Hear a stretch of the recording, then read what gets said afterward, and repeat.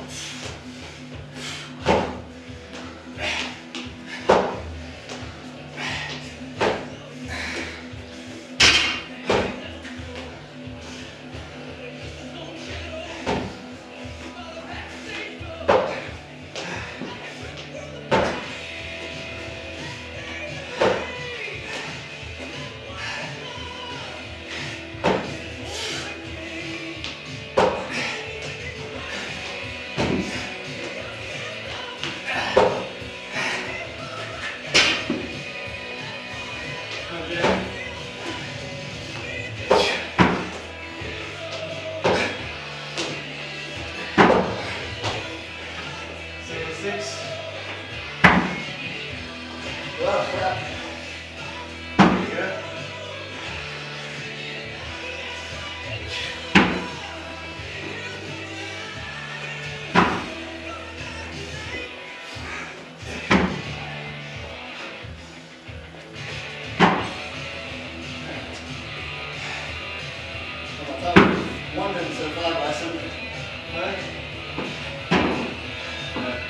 Uh, try to set a five minute rest, but to almost.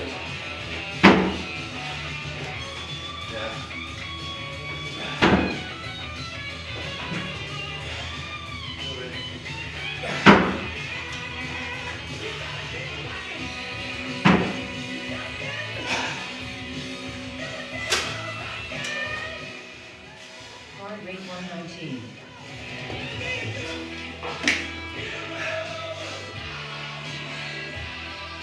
Yeah, miss? Nice. Nice. Kind of. Yeah, oh. Yeah. Yeah, rest until thirteen oh five. Shoe came undone. I think on this round, oh, I was tired enough that I couldn't really tie my shoes that good.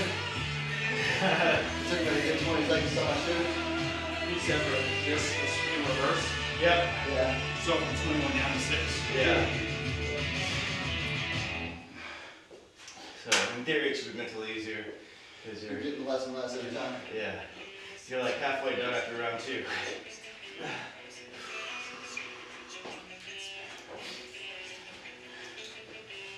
I'll try to take one.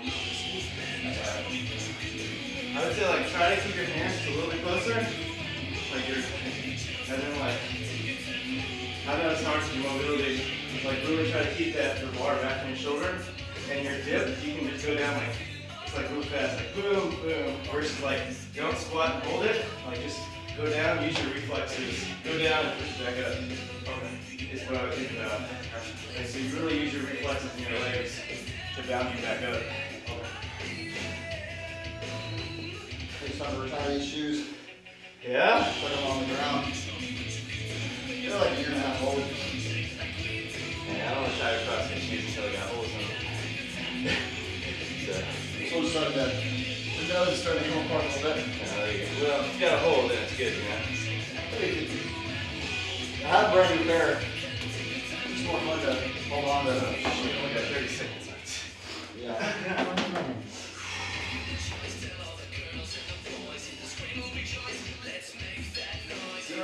push press would affect jump. Yeah.